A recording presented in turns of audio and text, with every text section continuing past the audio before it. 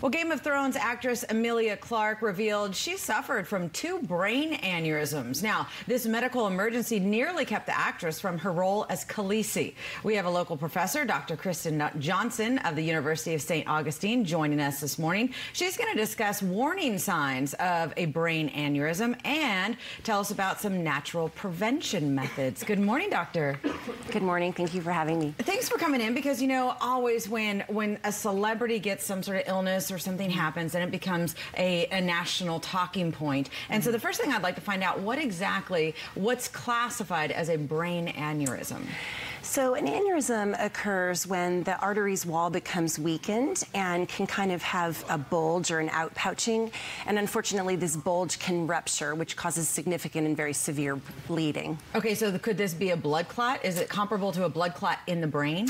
It could occur in the brain. Um, aneurysms can actually occur anywhere in our arteries in our body, um, most commonly in the brain, can also occur in our aorta as well as our legs and spleen. Okay, so what are some of the symptoms? If, if uh, for instance, what was Emilia Clarke dealing with before she actually got diagnosed? So the most common symptoms of a ruptured brain aneurysm would include a very sudden, severe, um, kind of like a catastrophic headache. Mm-hmm. Um, also typically includes nausea, vomiting, can include um, having a stiff neck as well as um, changes in vision. So like blurred vision, doubled vision, or even light sensitivity.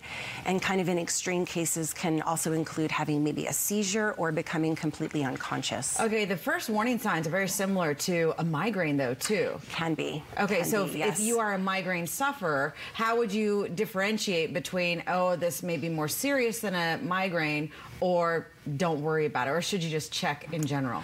Well, I think checking in general and contacting a medical professional um, and even calling 911 may be eminent. Um, the headache typically is one of the most common signs, and so if someone who manages and suffers from migraines, it might be the worst migraine they've ever kind of experienced in their life. Okay, so um, let's say if somebody goes to the hospital, they have a brain aneurysm. Are, are they doing a CT scan? How do they, they detect that you actually had this ruptured component? Um, they will be doing some imaging. Um, that's usually the first course of action. Okay, and then what's the treatment program after that as far as therapy, or do they stay in the hospital?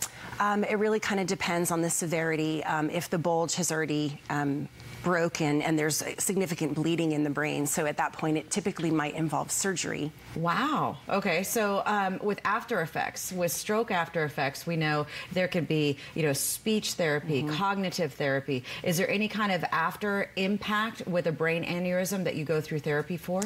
Well, um, brain aneurysms obviously are very severe, and um, the the thing that's troubling is that the CDC estimates that about 80% of the time they're fatal.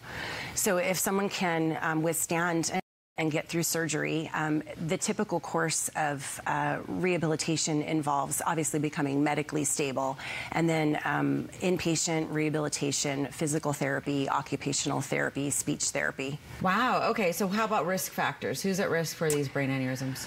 Well, risk factors, I mean, no known real causes. Risk factors might be individuals that currently have high blood pressure as well as atherosclerotic disease. Okay. So, it's not hereditary? It, it can can be. It can be. Um, okay. It can be kind of a congenital. You may be born um, with some of these bulges in the arterial walls and, and not know until they actually rupture. Um, so there is a genetic predisposition. To hear that she had 2 mm-hmm. and the fact that you just told me 80% fatality rate, mm-hmm. I mean, this is pretty extraordinary that not only did she live, but mm-hmm. that she went on to be this incredible role that she's known around the world for.